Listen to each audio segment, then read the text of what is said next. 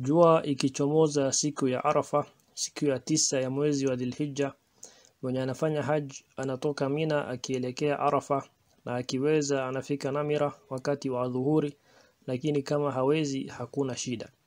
Na ni wajib kwa yule mwenye ako Arafa hakikishe ako ndani ya ardhi Arafa kwa sababu haj ni Arafa.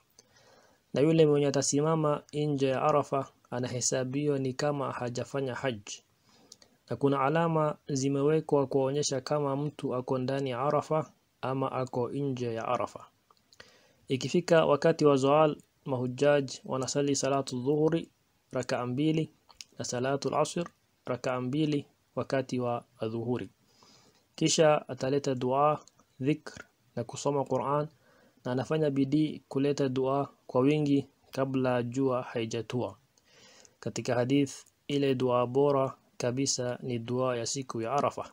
Na ile kitu bora mimi na mitume kabla yangu walisema ni la ilaha illa Allah wahdahu la sharika lah lahul mulk wa lahul hamd wa huwa ala kulli shay'in qadir.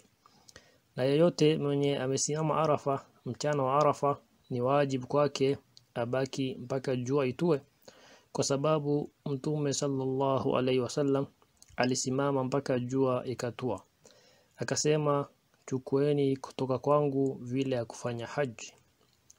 Baada ya jua kutua anaelekea kutoka Arafa akielekea Muzdalifa na anasali huko Maghrib rakaa tatu na Isha rakaa mbili na analala Muzdalifa.